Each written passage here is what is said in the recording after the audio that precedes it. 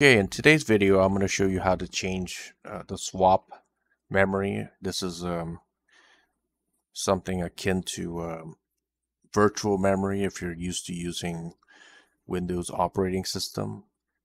But in Linux, we call it swap memory. It's called, it's kind of like um, back in the old days when we had DOS and stuff like that. It's called, it's called uh, RAM disk or something so when your computer runs out of uh, physical RAM memory, what it does is it goes, it uses your storage device as kind of like a temporary memory. So this is a lot slower than your um, RAM, but it will prevent your computer from crashing when it runs out of physical RAM. So that's all it is. So let's start. So open up terminal let's see how much uh, swap memory that I have right now. Type in free uh, slash H. So I have 1.8 gigabytes of swap or virtual memory. I have 3.6 gigabytes of regular memory. So I want to increase my swap memory. So let's see. First, I want to see uh, what my swap memory is, actually.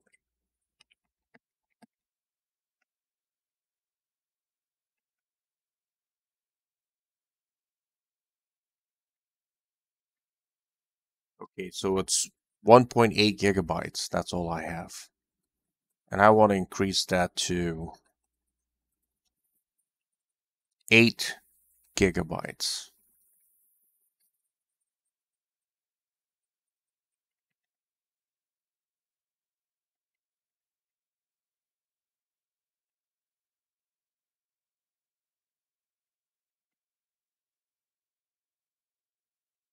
So I typed in this command to go into my ZRAM settings in Armbian to change the numbers.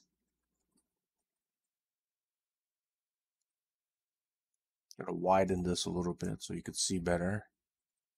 So of course this service is on, so enabled is true. So I want to change a few things. Just use your uh, arrow keys to navigate the percentage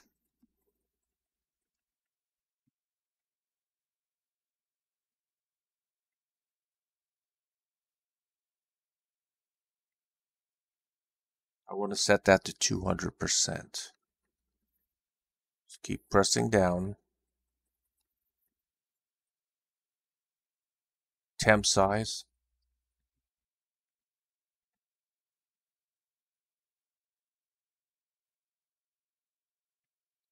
So that's 8,000 megabytes, so that'd be 8 gigabytes. So I want to save it. It's Control X, press Y, enter. I want to reboot my operating system so I could get the changes that I want.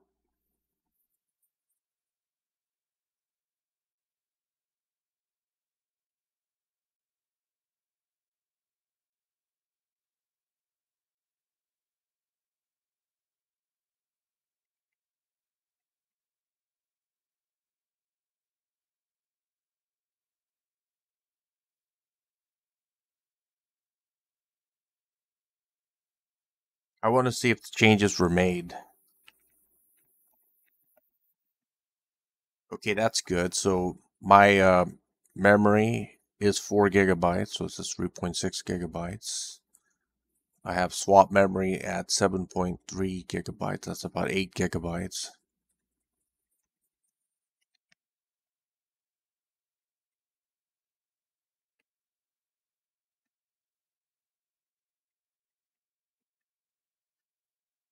Now I have 8 gigabytes of swap memory, so now I got considerably more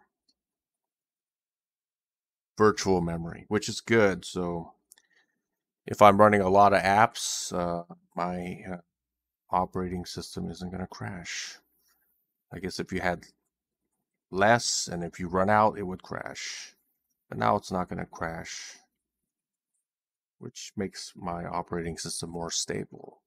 If I had a lot more system memory, let's say like 8 gigabytes or 16 gigabytes, um, I really wouldn't have to use swap memory. But right now I only have 4, so I guess it's a good idea to do that. So that's pretty much it for this video. Um, I'll leave all the commands in the video description below and feel free to comment if you want. And thanks for watching.